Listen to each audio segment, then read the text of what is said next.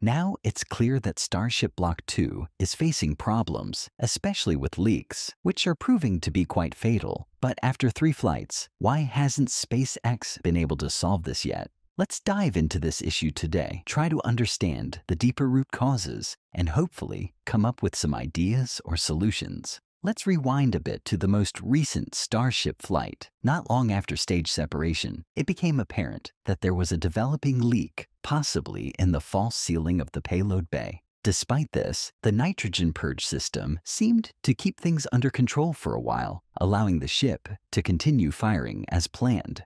However, almost immediately after the engine cutoff, the ship began to tumble unexpectedly. It attempted to correct its orientation using other vent systems, but it soon became clear that additional leaks had developed, this time in the internal fuel systems. These systems are crucial for attitude control and help keep the vehicle stable during its coast through space.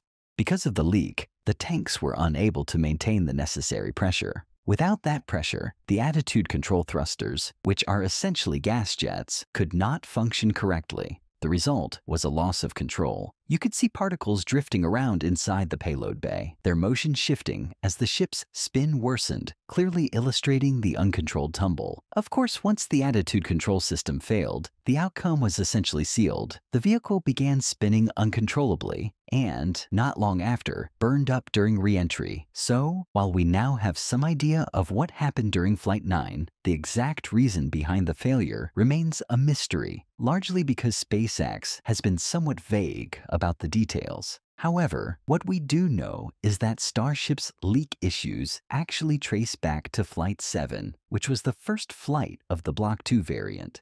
After investigating Flight 7, SpaceX stated that the most probable root cause for the loss of the ship was identified as a harmonic response several times stronger in flight than had been seen during testing, which led to increased stress on hardware in the propulsion system. The subsequent propellant leaks exceeded the venting capability of the ship's attic area and resulted in sustained fires. The leading theory now is that SpaceX has not fully solved this issue yet. With each flight, they have introduced new methods and upgrades to mitigate the effects and strengthen the vehicle against fire damage. That's likely why we've seen the ship survive longer in each successive flight. However, the underlying harmonic issue may still be present, continuing to damage key components, causing leaking issues, and ultimately preventing Starship from completing its mission successfully.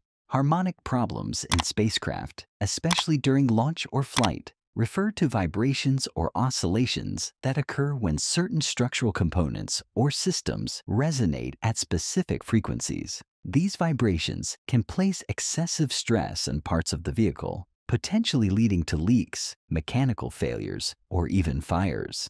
One of the most well-known forms of harmonic instability in rocketry is known as pogo oscillation. Pogo is a self-excited vibration seen in liquid propellant rockets. It is caused by combustion instability which leads to fluctuations in engine thrust. These thrust variations then cause changes in the vehicle's acceleration, which affect the propellant flow rate and pressure.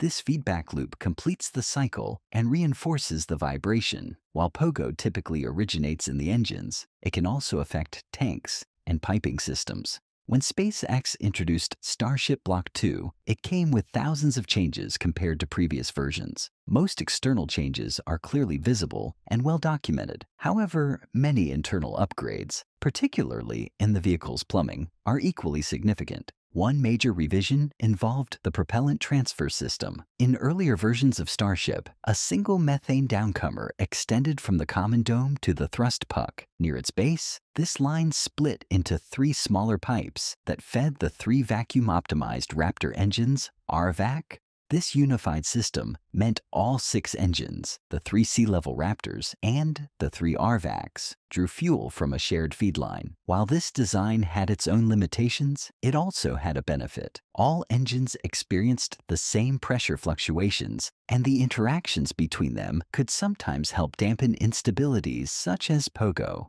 For example, pressure spikes would reach the sea level engines slightly earlier due to the shorter feed line lengths. These engines could react faster, and friction losses in the RVAC lines likely reduced the pressure seen at the vacuum engine's pumps. As a result, any instability introduced by one group of engines could be partially balanced or canceled out by the others. However, in Block 2, SpaceX appears to have shifted to a different approach. The updated design features four downcomers instead of one, including three dedicated methane feed lines, one for each RVAC engine. This gives greater control over pressure and flow rates to each engine individually. While that precision can be advantageous for efficiency and engine management, it also removes the multi-engine dampening effect that was present in the earlier design. This change may have unintended consequences. Longer feed lines, such as those now dedicated to each RVAC, are known to increase the severity of pogo oscillations. With each vacuum engine isolated on its own line, there is a possibility that pogo behavior, perhaps previously suppressed by the combined system, can now emerge and amplify. It is also possible that small-scale pogo effects were already occurring in earlier flights, but the shared feed line was enough to keep them under control. Now, by isolating the vacuum engines, SpaceX may have inadvertently created ideal conditions for pogo to manifest and intensify in the individual lines. The reason SpaceX still hasn't fully resolved this issue after all this time is because it's one of those problems that can only be truly understood during flight. Vibrations like these typically only manifest under real flight conditions, at altitude, and under sustained acceleration of around 3 Gs. During an actual launch, conditions change rapidly, second by second. For instance, the resonant frequency of a downcomer pipe that's fully submerged in liquid oxygen will change as the fluid level drops. So, if you run a static test while the tanks are full, everything might appear stable, but that doesn't reflect what happens during flight. Of course, SpaceX could attempt a full-duration static fire at varying fuel levels to better simulate flight conditions, but realistically, the ground support infrastructure likely isn't capable of withstanding such stresses. We now know that the ship's static fire stand can handle at least 60 seconds of firing. However, conducting a full 150 second booster test would be a different challenge altogether. Each second of such a test would produce a sustained cloud of superheated steam that engulfs the entire launch site.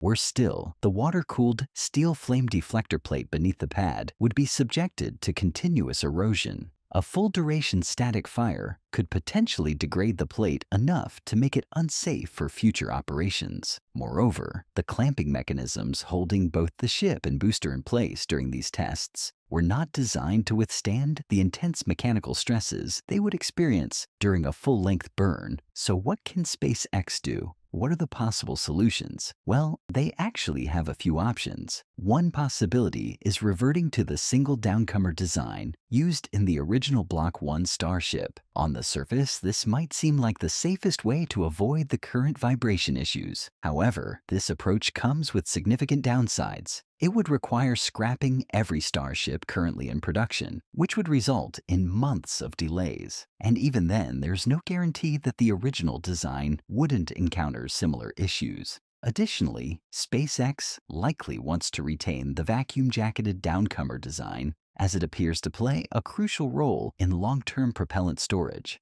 a key requirement for deep space missions. Given all that, it seems that instead of trying to sidestep the issue, the more viable path forward is for SpaceX to focus on solving the problem within the current propulsion system architecture. Making the new design work is likely in their best long-term interest. Now, what about moving on to the next version? Technically, Starship Block 3 includes a number of upgrades that could help mitigate the fuel leak issues. One major improvement is the switch to Raptor 3 engines. According to Elon Musk, Raptor 3 is designed to operate without a base heat shield, which reduces mass and actually improves reliability. For example, if there's a small fuel leak, the propellant would simply burn off in the existing plume of plasma. This is far less dangerous than a leak occurring inside a boxed-in engine compartment, which poses a much greater risk. However, Raptor 3 is still in the testing phase and is not yet flight ready. In addition, the new generation of Starships and boosters designed for Block 3 can only launch from Pad B, which is still under construction. At the same time, there are still three more Block 2 vehicles available, and they can only launch from Pad A. Given that, SpaceX might as well use them and gather as much data as possible, even if these earlier versions have been more problematic. After all, valuable lessons learned from these flights could directly inform and improve the Block 3 design. So, what is the best thing SpaceX can do right now?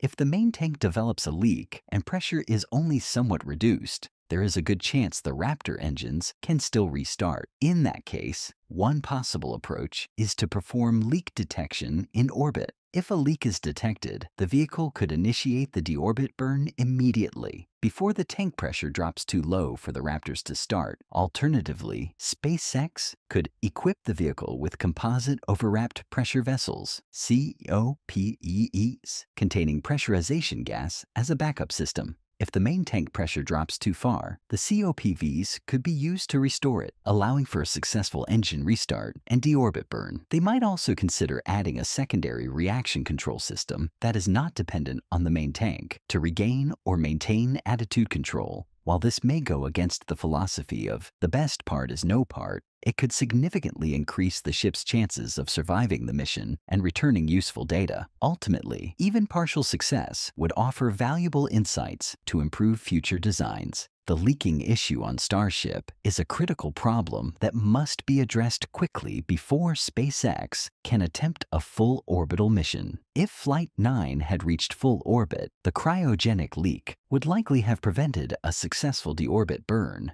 potentially causing Starship to break up and scatter debris over an uncontrolled area on Earth. This means SpaceX not only needs to demonstrate successful Raptor engine reignition in orbit, but also must prove one of three things that the system can tolerate and function through a leak, that leaks are effectively prevented, or that they can detect a leak early enough before the final few hundred meters per second of delta V are applied to safely abort and divert the vehicle to a controlled splashdown in the Indian Ocean. What they cannot do is simply hope future missions avoid cryogenic leaks. This issue must be resolved before committing to full orbital flights. That said, SpaceX is full of exceptionally intelligent and capable engineers. There is every reason to believe they will develop an innovative solution that many of us on the outside might not even anticipate. If you have any good suggestions for how to fix the Starship leak issues, feel free to share them in the comments. We're also aiming to reach our goal of 10,000 subscribers. So if you enjoyed the content,